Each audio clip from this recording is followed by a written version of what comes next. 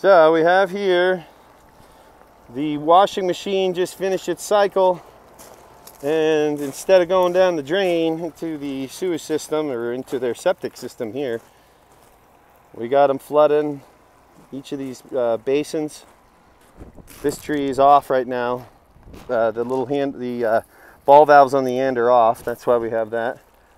But uh, filling them up for the vitex tree the desert willow and the citrus pretty sweet. This could be how many gallons mike? About 40 gallons up to 40 gallons. Fantastic.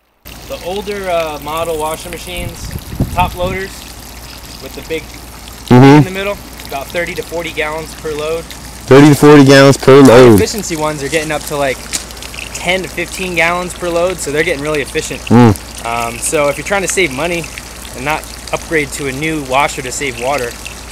Just use the same washer you have, keep that water in on the landscape, and use it on your, uh, your plants instead of just sending it to the drain. And here we are, in full practice. A gray water system success. We're here at one of our customers' houses and one of the uh, new projects that we're doing are they're installing gray water systems into uh, the laundry, the washing machine in the laundry room. I'm here with my man, Mr. Mike Yettins. Michael, uh, can you kind of give a quick rundown exactly what's going on here in the laundry room and, uh, you know, how simple in some ways this, this is and then the benefits that come from it? Of course. Yeah, we came here um, to a customer's house who needed a new irrigation system and we found that their laundry room is actually in the middle of their backyard in this shed. So it was a perfect opportunity to use this water in the landscape for the fruit trees. So this is a top loader, um, high water use laundry machine. Um, about 40 gallons per load comes out of this machine and goes into the septic tank. System right here, which is called the laundry to landscape system. And um, it's great, it's really easy to use. There's a switch right here that if you turn it to that way, it's the water's going to run through this pipe, through the black tube, into the same drain that it usually would run mm -hmm. into the septic system. So that gives you the opportunity to wash dirty diapers with bleach or, you know, uh, any any soaps or anything that would harm the landscape. You could still divert that to the septic or the sewer. Mm -hmm.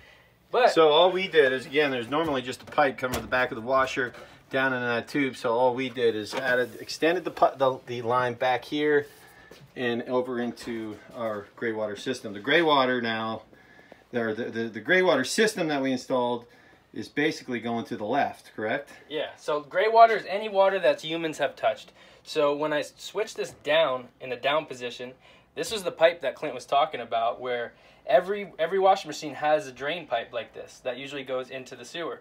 But if you take it, put it into this T, this uh, three-port valve, now it's going this way. There's an air vent right here to make sure it doesn't suck back into the machine. Then it goes down and out the wall into the soil and to the trees. Mm -hmm. Yeah, and right behind you, we installed the smart timer for the irrigation. So it's not as if this landscaping uh, back here and in the front is, is just solely depending on the washing machine going off. The customer here likes to go away for the summer uh, up north into the mountains, so isn't here all the time washing her clothes. So a system like this is fantastic.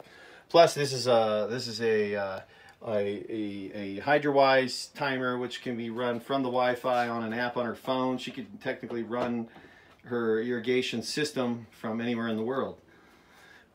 That's right. So here we are coming outside of this laundry room.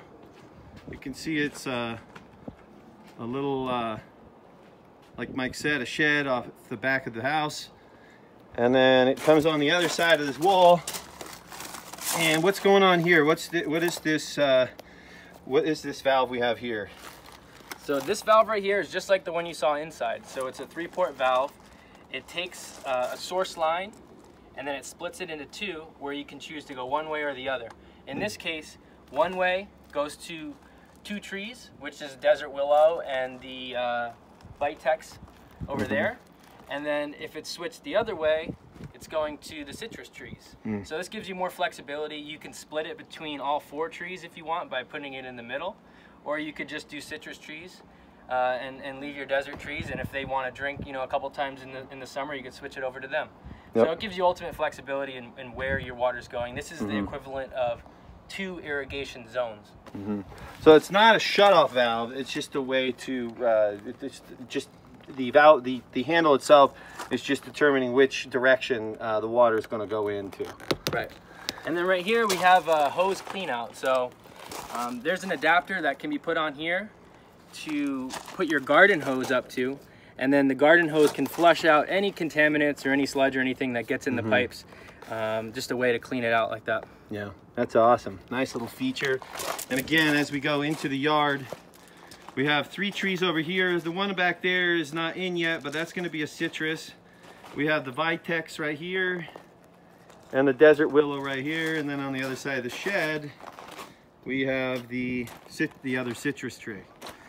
Um, so you can see we ran these one inch pipes underground. That's this guy right here. Oh, right here. Uh, right as we get to the tree, we uh, reduce it down to a half inch. Uh, see them over here. And uh, we'll have them coming into right there. We had it, we actually ran the wash and uh, you can see uh, there's the little shut-off valve on the end in case we just don't want water coming there. And uh, if we could technically shut it all off and it'll go out the the end here. Now we still got to shorten that. That's not the way it'll look to, at the very end of this. But uh, it's kind of the overflow.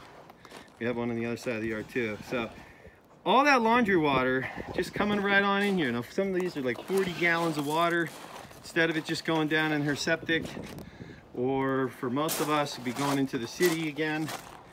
Why not keep it right here on your property? Use a little less water on your irrigation side and use irrigation in many ways as a supplement. Uh, and you can see that one's already closed off, but you can see how much water pumped out of here uh, when we ran that wash. Pretty sweet.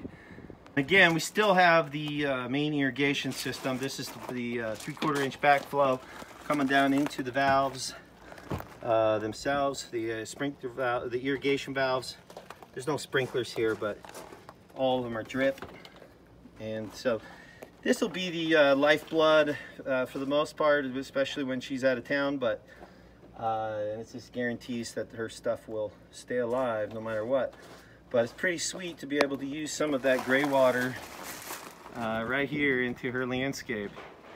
And uh, she's got a lot of natives mixed with a good amount of, uh, of drought tolerant stuff. So we're not done here, but kind of get the idea and the potential of, uh, you know, between uh, hopefully one of these days we'll get we'll get her to get some gutters too and put that out there. So between roof water, uh, gray water, and hopefully last but not least city water, uh, you can really have a uh, a vibrant garden all around your house. Thanks, Mikey.